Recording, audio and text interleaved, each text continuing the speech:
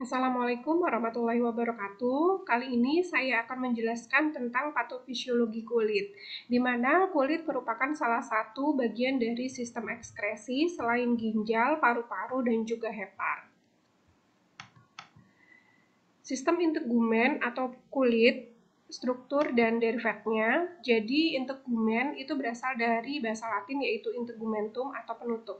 Jadi sistem integumen atau kulit merupakan sistem organ yang menutup, memisahkan dan melindungi tubuh manusia sekaligus sebagai alat komunikasi dengan lingkungan luar.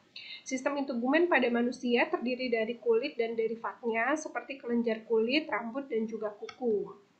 Nah, kulit merupakan pelindung tubuh ya yang paling luas, yang luasnya sekitar 1,9 meter persegi pada orang dewasa dan tebalnya sekitar 1,5 hingga 5 mm. Kondisi kulit eh, dipengaruhi oleh banyak faktor, misalnya letak kulit, ya, usia, jenis kelamin, suhu, nutrisi dan uh, nutrisi makanan. Untuk lapisan kulit sendiri ada tiga, ada epidermis, dermis, dan hipodermis. Bagian dermis merupakan bagian yang paling tebal. Bagian uh, epidermis ini terdiri dari beberapa stratum yang di situ ada bagian kulit ari juga yang terluar. Kemudian ada bagian-bagian yang kaya akan reseptor. Kemudian bagian dermis ini bagian yang uh, paling tebal. Ini terdiri dari beberapa kelenjar uh, seperti kelenjar minyak, kelenjar keringat, ada juga reseptor gitu ya dan folikel rambut. Lalu di bagian hipodermis atau bagian yang paling bawah di sini terdiri dari uh, serabut syaraf dan pembuluh darah serta jaringan adiposa. Nah, epidermis terdiri dari stratum corneum atau lapisan tanduk yang bisa berubah, e, bisa apa namanya terkelupas gitu ya dan mengalami regenerasi begitu cepat. Kemudian ada stratum lucidum atau disebut lapisan barier, stratum granulosum atau lapisan granular, eh, stratum spinosum atau lapisan malpighi dan e, stratum germinativum atau lapisan basal. Sedangkan bagian kulit e, dermis ada stratum papillari dan reticulare dan bagian hipodermis ada jaringan jaringan ikat longgar dan adiposa. Berikutnya kita masuk langsung kepada gangguan dan penyakit atau penyakit pada kulit. Yang pertama adalah penyakit uh, jerawat atau kita kenal juga dengan acne vulgaris. Jadi acne vulgaris adalah kelainan uh, unit uh, pilosebacea dan ditemukan paling sering pada remaja.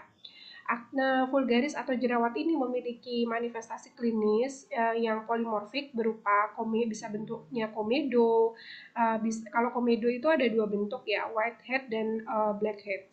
Lalu ada papul, pustul, nodul ataupun kista dengan derajat keparahan yang bervariasi. Di sini bisa kita lihat beberapa bentuk jerawat ya. Ada yang berupa komedo. Komedo itu termasuk bagian dari jerawat. Komedo ada yang beruntuknya whitehead dan juga blackhead. Kalau yang uh, whitehead itu komedonya berwarna putih, sedangkan blackhead hitam. Untuk yang whitehead ini jenis jerawat yang kekal hingga di bawah permukaan kulit, sedangkan yang jerawat blackhead ini timbul di permukaan kulit dan kehitaman. Lalu beberapa jerawat bentuk-bentuknya lainnya ada papul. Papul ini e, berupa benjolan kecil berwarna merah-merah ya, merah jambu dan berasa e, dan mungkin berasa sakit jika disentuh. Kalau pustul ini jerawatnya berwarna kemerahan juga di pangkal dan bernanah ya, biasanya lebih parah lagi daripada papul.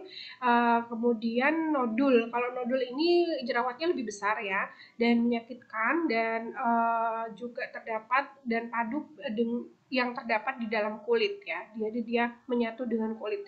Kemudian sista, eh, sistis atau sista ini adalah jerawat yang bernanah, yang dalam dan menyakitkan dan boleh meninggalkan perut uh, dan meninggalkan parut atau bekas-bekas jerawat gitu ya. Nah ini bisa kita lihat secara lebih jelas ya kalau blackhead, eh, blackhead, kemudian whitehead kemudian papul merah-merah tetapi tidak menonjol. Kalau pustul ini uh, memerah, kemudian ada nanah, kemudian menonjol. Nodul ini lebih besar daripada pustul. Kemudian kista ini menimbulkan uh, adanya jaringan parut ya. Nah, berikutnya adalah komedo. Komedo merupakan salah satu jenis jerawat. Dia termasuk uh, merupakan gumpalan massa atau sebum pada pori-pori diakibatkan karena meningkatnya produk minyak ya. Jadi uh, kulit yang berminyak terlalu banyak di sini akan menyumbat pori-pori kita begitu. Ada komedo yang terbuka dan tertutup. Kalau terbuka ini disebut dengan whitehead Uh, kemudian kalau yang tertutup ini uh, disebut dengan uh, blackhead. Jadi kalau tertutup itu berarti sudah menutupi bagian pori-pori dari kulit ya sehingga menghitam. Patogenesis daripada akne vulgaris ini uh, patok, uh, termasuk jenis penyakit multifaktorial juga ya. Namun terdapat empat konsep utama yang dianggap berperan dalam patogenesisnya. Yang pertama mungkin karena ada hiperproliferasi dari folikular epidermal. Lalu produksi minyak yang berlebihan juga bisa dipengaruhi oleh hormon. Lalu adanya inflamasi peradangan akibat adanya iritasi ataupun infeksi, serta yang terakhir adanya aktivitas Propionibacterium acne atau yang merupakan bakteri penyebab jerawat. Setiap proses tersebut saling berkaitan, ya, tidak hanya dipengaruhi oleh satu faktor infeksi uh, Propionibacterium acne saja, tetapi juga bisa didukung dari produksi sebum atau minyak yang berlebihan atau hiperproliferasi dari folikular epidermal dan inflamasi dari iritasi juga bisa. Kemudian uh, di sini adalah penjelasan yang lebih detail mengenai beberapa bentuk penyebab daripada jerawat atau akne vulgaris. Yang pertama adalah hiperproliferasi dari folikular epidermal. Ini menyebabkan lebih kepada mikrokomedo ya. Hiperkeratosis uh, terjadi pada epitel folikel rambut pada bagian atas dan infundibulum dengan peningkatan kohesi kerato, keratinosit. Jadi keratinosit itu merupakan uh, lapisan tanduk di luar kulit yang bentuknya kasar dan terjadi peningkatan uh, pembelahan sel dan juga peningkatan keratinosit uh, di atas uh, kulit ya di bagian luar epidermis. Nah, ini terjadi perubahan pola keratinasi folikel sebasea termasuk menyebabkan uh, stratum corneum bagian dalam dari ductus uh, pilosebaceum menjadi lebih tebal ya dan me lebih melekat. Nah, kalau tersumbat ini keratin dan sebum uh, bercampur uh, membentuk warna kehitaman ya atau blackhead.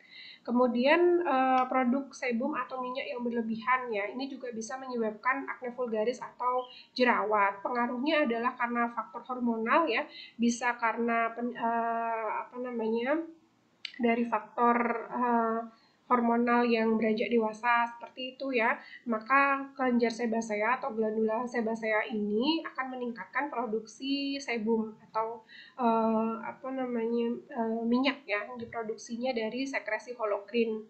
Nah, jenis tipe kelenjarnya namanya holokrin ya.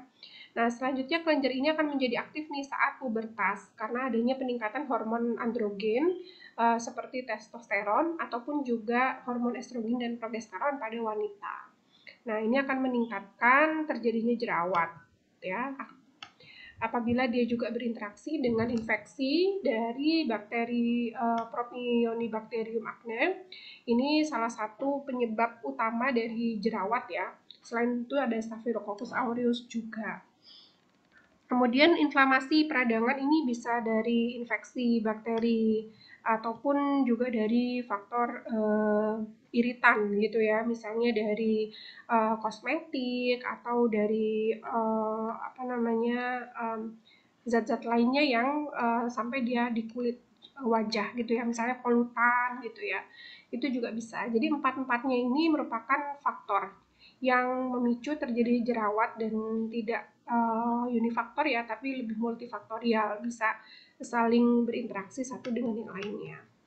Diagnosis untuk akne vulgaris ini uh, ditegakkan berdasarkan manifestasi klinis ya. Bisa dilihat tadi bentuknya atau polimorfiknya, apakah termasuk jenis komedo, papul, pustul nodul ataupun kista. Setelah itu juga uh, dikategorikan lesinya termasuk lesi non inflamasi atau inflamasi.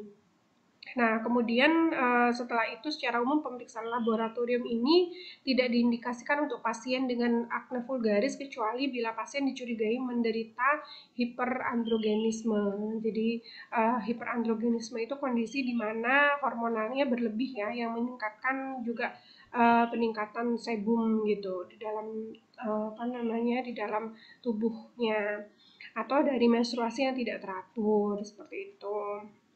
Jadi kalau untuk yang apa namanya tidak ada indikasi hiperandrogenisme atau menstruasi tidak teratur, biasanya pemeriksaan laboratorium tidak dilakukan, hanya pemeriksaan fisik saja.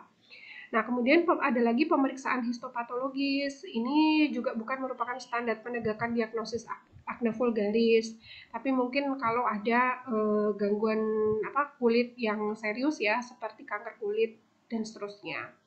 Kalau dermoskopi ini juga belum dikembangkan menjadi pemeriksaan standar untuk akne vulgaris. Jadi akne vulgaris hanya e, melihat kepada pemeriksaan fisik saja. Kemudian ini derajat keparahan akne vulgaris ada dari ringan, sedang, dan juga berat.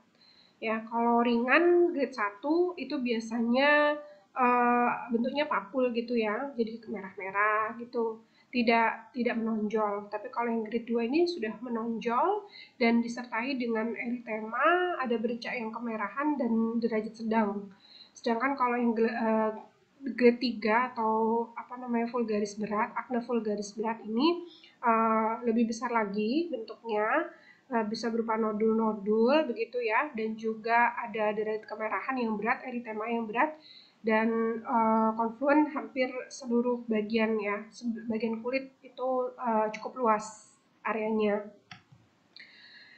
Nah ini uh, untuk pengobatannya, untuk derajat 1 biasanya diberikan retinoid topikal dan benzoyl peroksida atau antibiotik topikal saja. Kalau yang untuk derajat 2 dan 3 yang sedang ini bisa ditambah antibiotik oral dan terapi hormon. Untuk yang derajat 4 atau berat ini bisa diberikan isotretinoin dan juga retinoid topikal, ada antibiotik oral juga dan terapi hormon.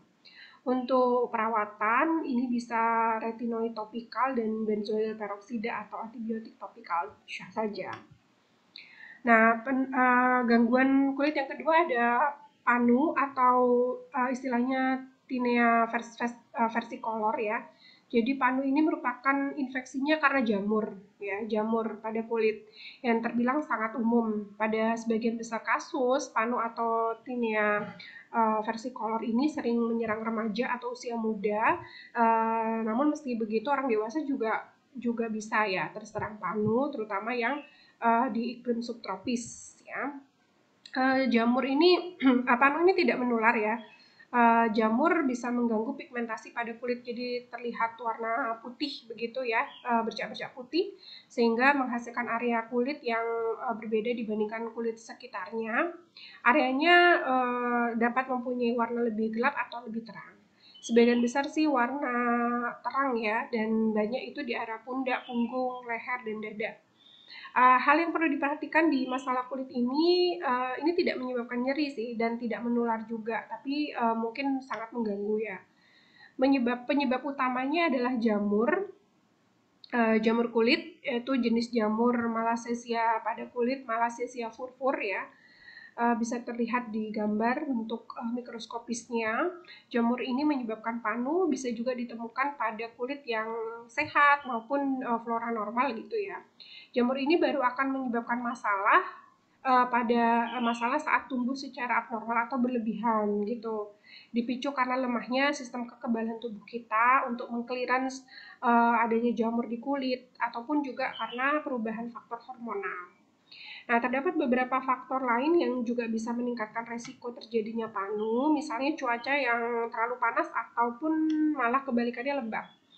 Kulit berminyak uh, kemudian perubahan hormonal, sistem kekebalan tubuh yang melemah, mengkonsumsi obat-obatan yang bisa menekan uh, sistem imun ya atau imunodepresan, lalu keringat berlebih, riwayat panu dalam keluarga dan juga lingkungan yang lembab.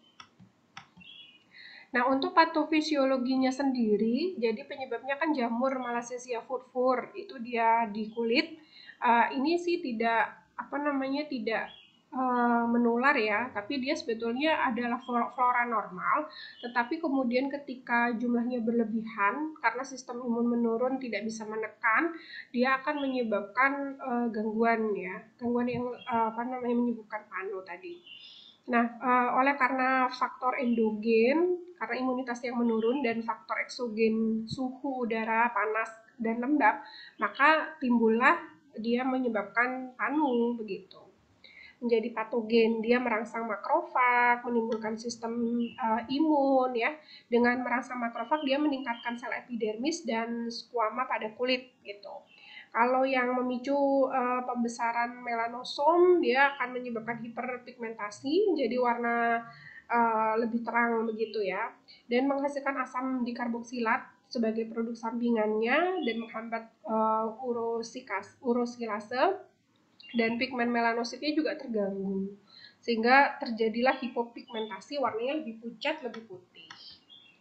Nah, kemudian manifestasi klinisnya untuk panu ini area kulitnya diskolorasi ya atau warnanya putih gitu ya tanpa warna. Kemudian banyak terjadi di punggung, dada, leher dan lengan atas dan tampak lebih gelap atau lebih terang, tapi lebih lebih banyaknya lebih terang ya. Terus e, rasanya gatal ringan, kemudian kering dan mungkin bersisik ya beberapa. Lalu ada penebalan kulit dan perubahan warna kulit menjadi lebih terang atau gelap dibandingkan kulit di sekitarnya. Kemudian untuk diagnosisnya pemeriksaan pada kulit untuk melihat ruam melihat ruam, lalu dengan sinar UV untuk membantu mendiagnosis panu, melihat secara lebih detail lebih jelas ya. Sinar ini akan membantu daerah yang terkena uh, yang terkena tampak uh, berwarna kekuningan jika diberi lampu sinar UV ya. Kemudian dokter uh, mungkin akan mengambil sampel kulit dengan apa namanya mengikis kulit begitu uh, dan sisi dari area terkena dilihat di bawah mikroskop kemudian uh, dilihat apakah ada jamur malassezia furfurnya. Gitu. Kemudian komplikasinya, nah panu ini juga bisa mengalami komplikasi pada kulit. Pada umumnya adalah perubahan warna kulit yang uh, bisa bertahan uh, beberapa waktu yang lebih lama gitu Pasalnya melanosit atau pigmen warna kulit kita itu memerlukan uh, beberapa waktu untuk bisa pulih kembali. Dengan kata lain, uh, ada komplikasi permanen, tetapi memang komplikasinya lebih kepada uh, apa namanya untuk menjadi normal kembali kulitnya butuh waktu ya. Untuk pengobatan panu sendiri itu uh, secara topikal itu bisa dengan uh, gel ya, gel terbina terbinafin atau juga krim uh, ya misalnya atau juga natrium tiosulfat. Ada juga pengobatan secara oral itu bisa uh, anti jamur ya, misalnya itraconazole atau fluconazole seperti itu. Nah, selain penggunaan obat, eh, hal-hal yang perlu diperhatikan dalam meredakan paru, panu bisa hindari berjemur atau paparan sinar matahari berlebihan karena nantinya akan uh, lebih mudah terlihat juga ya dan hindari banyak berkeringat juga. Karena nanti dengan keringat ini bisa memicu uh, rasa gatal juga apa namanya peningkatan apa uh, gejala panunya sendiri gitu ya. Uh, melebarnya area infeksi jamur malassezia furfur. Juga gunakan produk anti uh, produk yang tidak berminyak ya untuk uh, kosmetik gitu ya. Ataupun tanning bed dan uh, sun lamp. Itu uh, itu jangan digunakan ya. Uh, gunakan akan pakaian yang longgar. Hal-hal yang bisa menyebabkan panu bisa terlihat itu juga di, di bisa dikurangi ya. Karena akan efeknya lebih kepada uh, kurang percaya dirinya kita gitu ya menggunakan obat sesuai resep juga bisa kemudian terutama pada cuaca yang kurang bersahabat atau suhu udara terasa lembab Nah, uh, gangguan yang ketiga adalah kadas atau kurap ya. Ini nama lainnya kadas atau kurap adalah penyakit kulit menular. Nah, kalau yang panu tadi tidak menular. Kalau yang kadas kurap ini menular. Bentuknya seperti pada gambar berikut ini ya. Jadi ada semacam uh, warna putih yang areanya lebih luas, kemudian ada sedikit uh, apa namanya papula-papula begitu ya, bintik-bintik kecil Nah, penyakit ini ditandai dengan ruam, ruam merah pada kulit biasanya uh, kerap kali membentuk pola cincin yang dikelilingi dengan pinggiran yang bersisik. Itu, itu kalau kurap, kades kurap. Penyebabnya adalah jamur, yaitu ada trichopiton, ada microsporum, ada juga epiderm, uh, epidermopiton, ada tiga jenis jamur ya uh, termasuk menular ya dan menularnya bisa manusia ke manusia, hewan ke manusia lewat kontak langsung dengan hewan yang terinfeksi, benda ke manusia bisa dari permukaan benda yang habis disentuh oleh penderita sebelumnya, kemudian uh, tanah ke manusia juga bisa. Nah, jamur penyebab kurap ini bisa hidup pada benda yang terinfeksi dalam waktu yang cukup lama ya. Untuk itu uh, kita Anda amat rentan tertular dengan dari keluarga ataupun orang-orang terdekat gitu ya. Jadi bagi, bagi penderita sih uh, harus uh, paling tidak tertutup lah bagian yang terkena kadas ataupun kurap ini. Nah, ini adalah contoh-contoh uh, kades kurap juga bentuk-bentuknya dan beberapa penyebabnya adalah dari jenis tinea. Ada tinea capitis, ini di caput atau di kepala ya. Kemudian tinea corporis, ini di kulit secara umum. Kemudian tinea cruris, lalu ada tinea pedis di kaki. Nah, kemudian di sini ada manifestasi klinis dari uh, Kades kurap ini adalah ruam tadi sudah dijelaskan ya, ruam bercincin kemudian di bagian luarnya ada sisinya, ada kemerahan juga ya. Lalu e, berkumpul, rasanya gatal, bercak pada tumbuh e, perlahan ya, ada bercak-bercak putih juga dan bertambah besar menyebar ke area yang lain. ada lagi kalau di kaki itu tinea pedis atau disebut juga kutu air ya. Ini sebenarnya juga penyebabnya adalah tinea pedis. Uh, ini dia rasanya gatal, terbak mudah seperti rasa terbakar ya dan menyengat di bagian sela-sela jari kita. Kulit rasa kering juga dan bersisik. Kemudian mudah mengelupas, melepuh, ada bercak merah, lalu ada area yang terinfeksi, ini berbau tidak sedap. Kuku kaki juga lebih tebal atau mudah rapuh kalau uh, terluka ya atau mudah terluka juga. Kalau di telapak tangan ini namanya tinea manum. Ini kulit mengering dan menebal di telapak tangan. Ada retakan-retakan gitu ya, karena termasuk apa namanya area yang mungkin uh, berongga atau apa namanya ada pori-pori yang membentuk uh, retakan begitu, bercak dan berbentuk cincin Kemudian biasanya kondisi ini muncul akibat sering menyentuhkan kaki yang telah terinfeksi kutu air gitu ya. Jadi bisa dari tan, uh, tinea pedis ke tinea manum juga.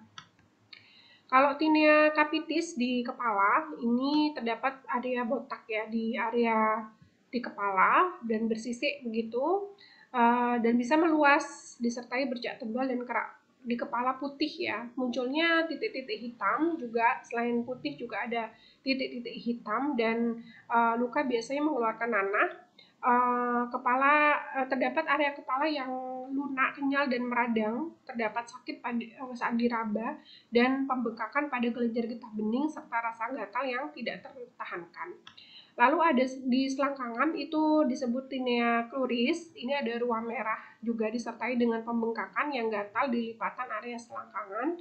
Ruang menyebar ke pangkal paha hingga ke paha bagian dalam. Nah, kulit yang terinfeksi cenderung bersisik ya, sama umur umumnya kadas kurap. Ada umumnya lainnya ya sama. Kulit mengelupas dan retak dan kadang terasa sangat gatal dan sakit. Biasanya akan semakin memburuk saat berjalan, berlari atau berolahraga. Nah, kemudian ada tinea unguium ya uh, atau unikomikosis ini biasanya menyerang satu kuku saja uh, atau lebih dari itu ya biasa seperti tapak pada gambar seperti ini ya uh, kemudian penebalan pada jaringan di bawah kuku lalu kuku menghitam dan menebal lalu kuku juga hancur mudah hancur ya dan terlepas dari kulit gitu Biasanya juga merupakan pengembangan dari kutu air. Lalu kalau di wajah namanya tinea facialis, ini muncul ruam merah pada daerah mulut, hidung gitu ya, dan sekitar mata juga bisa pada area wajah. Terkadang ruam merah juga ada benjolan kecil atau bisulnya. Wajah terasa gatal dan memburuk uh, ter jika terkena paparan cahaya matahari. Lalu di bagian jenggot juga ada ya um, seperti kades kurap ya. Kemudian rambut jenggot ber, perlahan akan rontok ya.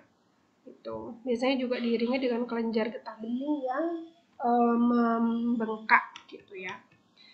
Patogenesisnya di sini ada transmisi dermatofili vital uh, dari penyebab penyebabnya tadi tiga tiga jenis ya, tiga jenis mikroorganisme yang menyebabkan. Nah, di sini kemudian akan ada pembesaran epidermis dan lesi, lalu menghasilkan keratinase sehingga dan enzim proteolitik ya, sehingga nampak seperti apa kulit yang ruam-ruam dan juga bersisik begitu. Nah, Berikutnya adalah faktor resiko dari kades kurap ini adalah tinggal di daerah tropis, ya rata-rata yang lembab, sering bepergian dalam cuaca yang panas dan lembab, memiliki luka terbuka di kulit, sering berenang di kolam umum, sering menggunakan barang pribadi bekas uh, pakai secara bersamaan, tidak memakai alas kaki uh, di ruang ganti, ataupun obesitas dan penyakit diabetes. Untuk diagnosisnya sendiri memeriksa area kulit dan mengambil sampel. Pengobatan kades kurapnya ini bisa dengan anti jamur ya. Uh, kedua jenis obat berfungsi menghasilkan kerja ergosterol, sebuah komponen untuk membentuk sel jamur utama. Obat anti jamur topikal bisa didapatkan tanpa resep dokter. Biasanya obat ini digunakan sebanyak dua kali sehari pada area yang terkena kades selama 2 sampai 4 minggu. Namun durasi pemakaian juga tergantung dari uh, lokasi dan tingkat keparahannya. Untuk yang keempat ada luka bakar. Luka bakar ini merupakan luka pada jaringan tubuh karena denaturasi protein di jaringan kulit yang menyebabkan sel-sel kulit juga mati. Persentase keparahan mulai dari ringan itu kurang dari 15% area kulit. Kalau 15 sampai 50 eh, ini sedang, lebih dari 50% ini termasuk area berat. Sedangkan dari tipe kedalamannya itu ada empat grade. First grade itu uh, atau derajat pertama itu merusak epidermis, derajat kedua itu merusak dermis, derajat ketiga itu merusak jaringan adiposa, sedangkan derajat keempat itu sampai terlihat pembuluh darah dan otot uh, serta syarafnya juga rusak ya sehingga terjadi mungkin gangguan fungsi syaraf di kulit. Kemudian etiologinya penyebabnya bisa karena panas e, luka bakar ya, e, benda panas, radiasi atau luka e, dari api atau zat kimia yang menyebabkan luka bakar. Fase dari luka bakar ini ada fase akut, subakut, dan lanjut ya. Kalau fase akut atau fase shock, ini penderita akan mengalami ancaman gangguan jiwa, kemudian eh, pernafasan maupun sirkulasi. Pada fase akut sering terjadi gangguan keseimbangan cairan elektrolit. Ini biasanya yang lebih dari luka 50% ke atas atau grade 4 juga. Untuk subakut ini terjadi proses inflamasi dan infeksi, problem penutup luka dengan titik perhatian pada kulit telanjang atau tidak berbaju epitel luas dengan struktur organ yang uh, mengalami gangguan, keadaan ada hipermetabolisme.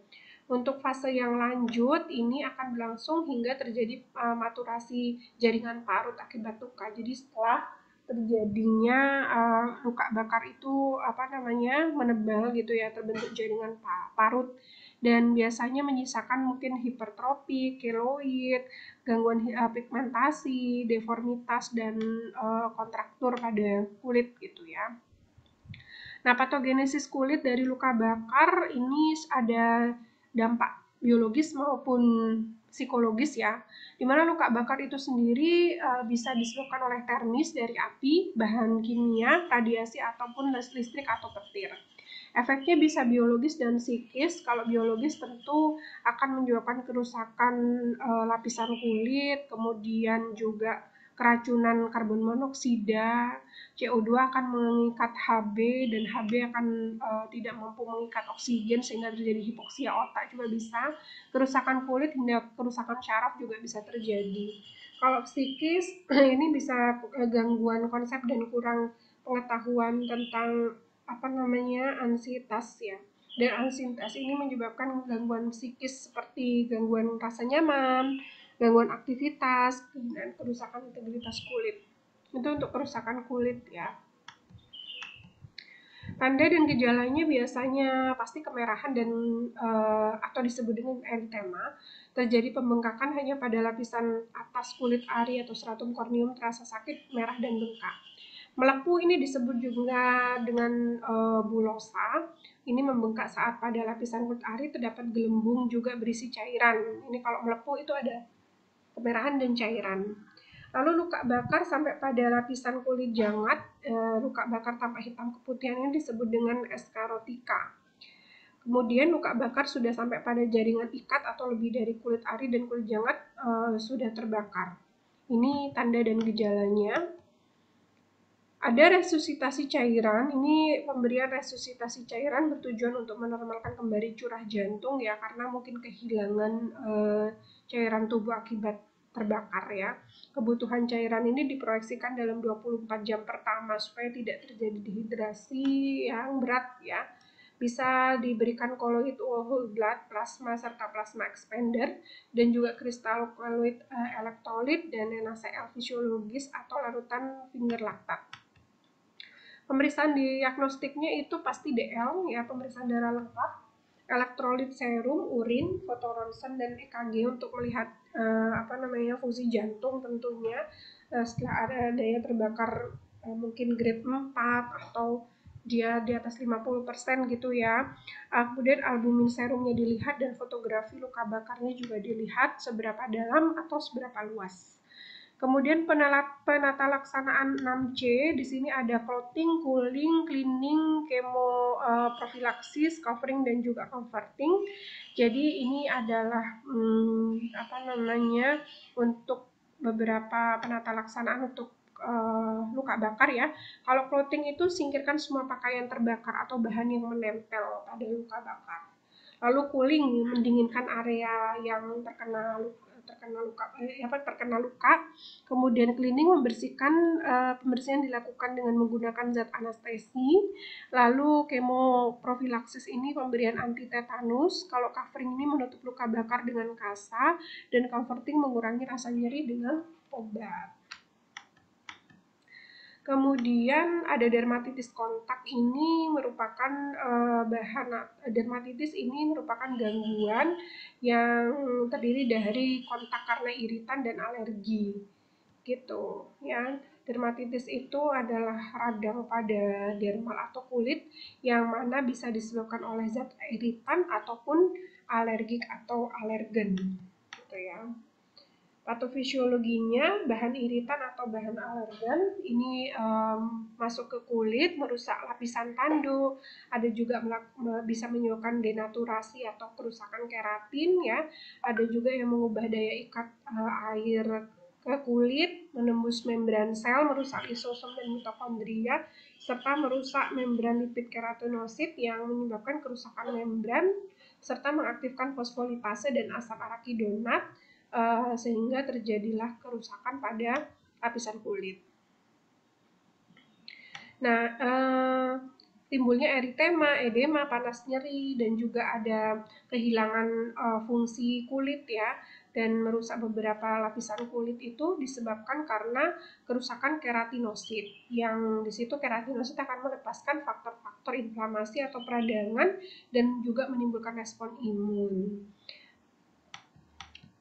Gejala klinisnya ada kategori mayor dan minor. Kalau mayor itu uh, luka bakar oleh bahan kimia ya, juga termasuk dalam apa namanya dermatitis kontak yang iritan. Biasanya iritannya disebabkan iritan kuat itu seperti asam sulfat ya, yang asam. Kemudian basa kuat juga bisa, NaOH.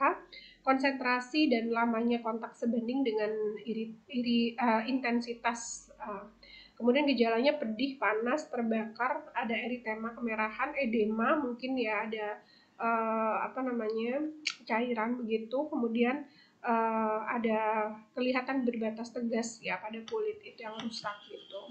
Kalau dermatitis kontak iritan yang lambat itu uh, munculnya 8 sampai 24 jam ya. Kalau yang yang cepat tadi uh, akut yang cepat ya. Kalau yang lambat itu 8 sampai 24 jam. Misalnya beberapa zat kimia seperti etilen, ada juga asam hidroflorat, ada juga dari serangga ya, bulu serangga. Kalau dermatitis kontak yang kumulatif ini disebabkan karena kontak berulang dengan iritan yang lemah ya. E, iritannya lemah tapi berulang-ulang gitu. Misalnya gesekan, panas, dingin atau bahan kimia. Gambaran klinisnya kulit kering, eritema, squama, hiperkeratosit, uh, kemudian likenifikasi, disus dan juga luka karena iris ya.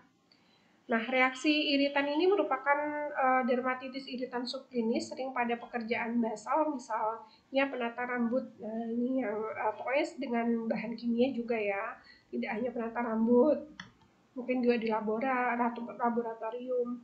Nah, ada juga dermatitis kron, uh, dermatitis kontak apa namanya irit, iritan yang traumatik. Ini kelainan kulit yang lambat uh, etiologinya trauma karena panas atau lasera, laserasi ya terkena laser yang berulang-ulang penyembuhannya lama sekitar 6 minggu ya kalau yang traumatik lama dermatitis kontak iritan uh, non erimatosa ini ditandai dengan perubahan sawar stratum corneum tanpa diserta, disertai kelainan klinis ya dia kulitnya apa namanya lebih tipis Kemudian DKI uh, eh, atau dermatitis kontak iritan subjektif ini disebut juga DKI sensori. Kelainan kulit ini tidak terlihat namun penderitanya seperti terbakar, pedih gitu ya. Nah, ini kalau tiba-tiba kita kayak panas di kulit tapi tidak ada lukanya, ini termasuk dermatitis kontak iritan yang subjektif gitu. Nah, kemudian ada lagi dermatitis kontak alergik. Ini karena faktor alergi ya. Kalau yang tadi karena faktor iritasi.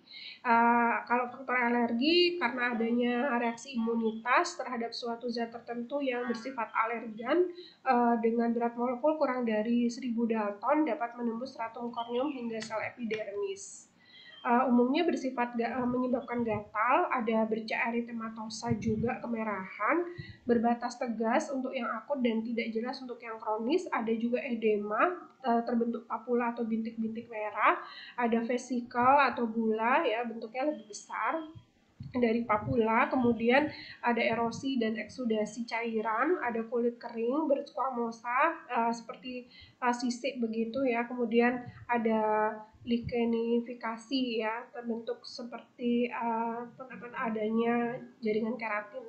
Lokasinya di tangan, lengan, wajah, telinga, leher, badan, ada organ genitalia dan juga paha dan tungkai.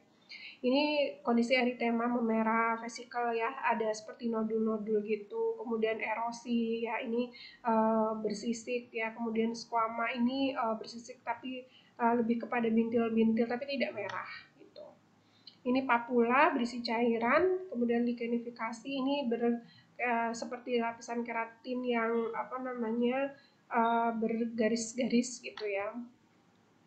Kemudian untuk patofisiologi dan patogenesisnya ada fase sensitisasi, ini terjadi pada kontak pertama alergen dengan kulit sampai limfosit mengenal dan memberikan respon. Sensitisasi itu pengenalan. Setelah itu akan ada respon imunitas dari uh, sel T dan sel memori serta berproliferasi. Kemudian terjadi fase ilisa, uh, il, yaitu terjadinya pajanan ulang. Alergen mungkin yang kedua atau yang ketiga sehingga menimbulkan gejala klinis ya. Nah, berikutnya selain dermatitis ada skabies. Skabies ini adalah penyakit kulit yang disebabkan oleh gigitan tungau atau kutu Sarcoptes kbi dari golongan arachnida tungau ya. Uh, dia di, akan bisa masuk ke dalam kulit kita uh, kemudian membuat terowongan ke lapisan kulit dan di bawahnya. Di dalam terowongan ini tungau tungau betina akan bertelur dan membentuk hipop, uh, hipopi ya. Pembuatan terowongan ini akan memakan sel-sel lapisan kulit tentunya ya dan menyebabkan rasa gatal dan luka uh, bisa menular dan penularannya bisa antar manusia. Oke, berikutnya adalah cacar atau varicella zoster atau herpes zoster disebabkan oleh varicella. Uh, disebut penyakitnya adalah cacar air atau chickenpox. Dalam kehamilan juga uh, sangat beresiko. Uh, penyebabnya adalah varicella zoster virus ya, virus varicella. Dan tumbuh hanya pada sel-sel manusia uh, menyebabkan gangguan klinis pada kulit ya. Ini tampilan varicella zoster, uh, varicella yang disebabkan oleh varicella zoster. Patogenesisnya dia mudah menular melalui droplet dan sekret kulit, eh, saluran pernafasan dan lesi pada kulit ya. Kemudian infeksi dimulai dari adesi penempelan, lalu invasi ke mukus di saluran napas, kemudian bereplikasi dan uh, masa inkubasinya menimbulkan infeksi gejala uh, lalu menyebabkan gangguan pada kulit ya. Uh, masa inkubasinya 10 sampai 21 hari. Ini fase viremia primer dan sekunder. Uh, untuk yang viremia primer 4 sampai 6 hari, untuk yang sekunder 10 sampai 21 hari. Gejala klinis mulai muncul pada saat viremia uh, sekunder ya. Kemudian bisa virus ini bisa menyebar ke hepar dan periode infeksiusnya dua hari sebelum uh, sebelum sampai dengan tujuh hari sejak timbul uh, lesi pada kulit. Diagnosisnya ini berdasarkan temuan klinis diperkuat dengan riwayat paparan 4 mingguan terakhir dan manifestasi klinisnya ada stadium prodromal ini uh, ada demam tinggi tidak tinggi ya selama 1 sampai 3 hari ada nyeri kepala, mialgia, kemudian anoreksia dan malaise diikuti oleh stadium erupsi dua hari kemudian itu ada timbul lesi pada kulit. Ini gambaran perjalanan dari uh, perjalanan dari penyakit infeksi varicella. Jadi selama 28 hari ya. Kemudian berikutnya kusta atau penyakit Hansen. Nah, penyakit kusta ini disebabkan oleh bakteri Mycobacterium lepra sehingga disebut juga penyakit lepra. Gejalanya adalah bercak putih atau merah, eh, kemudian tubuh tidak berkeringat, rasa kesemutan dan mati rasa. Jika penyakit ini semakin parah, dapat menggerogoti bagian anggota tubuh ya, terutama terjadi di uh, tangan, jari jari tangan. Penularannya bisa mukosa nasal atau cairan uh, hidung ataupun droplet uh, infeksi, kemudian inokulasi pada kulit juga, jadi lewat pernafasan dan kulit.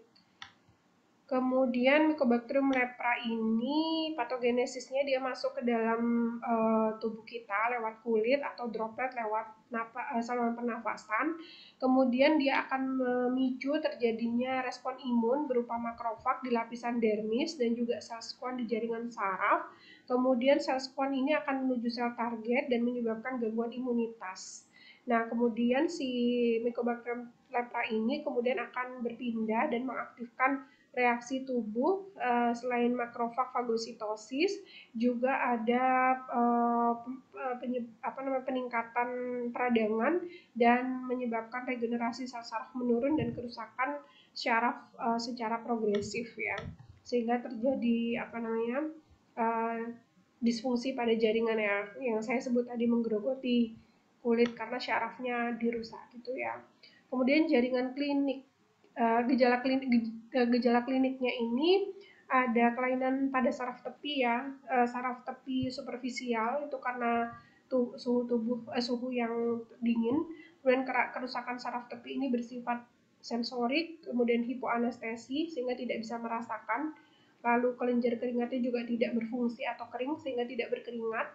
Lalu ada pembesaran sel saraf yang uh, pada permukaan kulit Kelainan kulit pada organ lain, bagian kulit relatif dingin, muka, hidung, uh, telinga, ekstremitas uh, terjadi apa namanya biasanya terjadi uh, gangguan di lepra ini, lalu bercak hipopigmentasi, kemudian menyebabkan eritematosus dan gangguan estesi.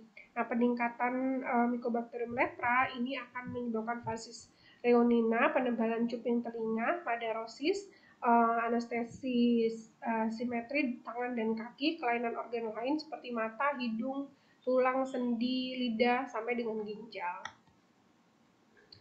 Kemudian di sini diagnosis klinisnya adalah kita melihat lesi pada kulitnya, lalu ada tidaknya kerusakan syaraf dengan uh, apa namanya uji sensasi ada kelemahan otot, kemudian uji BTA dan juga uh, melihat uh, jenis apa namanya mikroorganisme yang ada pada sampel kulit.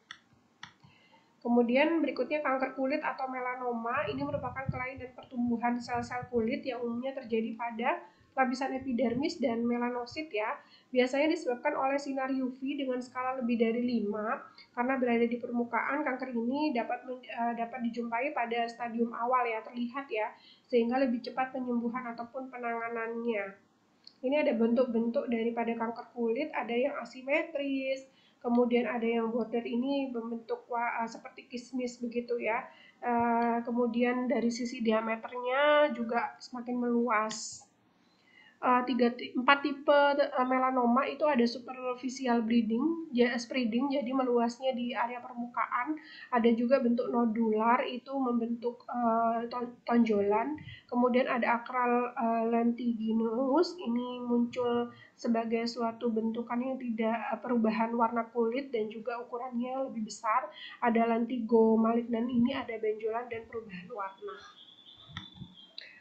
Uh, kemudian gejala dan tanda-tandanya ini gatal, ada perdarahan dan kehilangan uh, rontokan rambut ya, dan ada uh, bentukan apa namanya uh, tumor atau kanker kulit, baik itu dari ukuran, uh, warna ataupun uh, apa bentuk ya. Nah ini yang asimetris, ada juga yang tipe border, ini uh, seperti ada benjolan kecil berwarna hitam Terus ini yang eh, perubahannya bisa terlihat dari warnanya, ada yang dari diameternya, kemudian ada tidaknya benjolan atau mol itu ya kecil. Untuk patogenesisnya, patofisiologinya ini bisa disebabkan karena sinar UV. Eh, orang yang tidak atau kekurangan pigmen sering terpapar sinar in, radiasi ya. Secara genetik juga ada yang pengaruh, kemudian kontak lama dengan zat toksik juga bisa uh, pengaruh ya atau terapi-terapi imunosupresi. Ini menyebabkan kanker pada kulit, bentuknya ada karsinoma sel basal, ada squamosa, dan juga uh, melanoma malignan. Kalau yang karsinoma sel basal ini bentuknya seperti nodul kecil dengan tipe yang tergulung uh, dan translucent dan mengkilap ya. Nah, kemudian kalau yang karsinoma squamosa itu proliferasi malignan yang timbul dari dalam epidermis. Kalau melanoma malignan itu terdapat biasanya pada melanosit ya, karena namanya melanoma banyak di sel melanositnya. Uh, ini beberapa perbandingan uh, neoplasma pada kulit gitu ya. Ada yang actinic uh, keratosi di jaringan keratinnya, di jaringan squamosa dermis, ada juga di basal sel itu di hipodermis.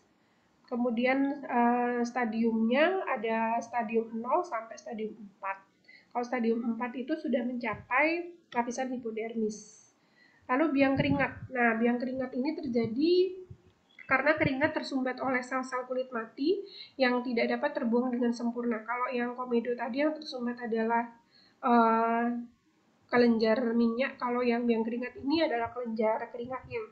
Keringat yang terperangkap menyebabkan terjadinya rasa gatal dan ditandai dengan kulit kemerahan. Uh, daki, debu, dan kosmetik dapat menyebabkan tersumbatnya kelenjar keringat. Berikutnya ada bau badan. Bau badan ini, bau keringat timbul karena adanya apokrin yang menghasilkan keringat lebih kental karena mengandung lemak dan berbau khas pada setiap orang. Sel kelenjar ini mudah rusak dan sifatnya alkali sehingga dapat menimbulkan bau. Keringat sebenarnya tidak berbau, tetapi ketika ia membusuk maka mulailah diserang bakteri lalu muncullah bau yang khas. Nah, eh, itu tadi beberapa jenis gangguan pada kulit yang termasuk bagian dari sistem ekskresi tubuh kita. Eh, terima kasih atas apa Uh, terima kasih atas uh, partisipasinya. Saya akhiri. Wabillahi taufiq wal hidayah. Wassalamualaikum warahmatullahi wabarakatuh.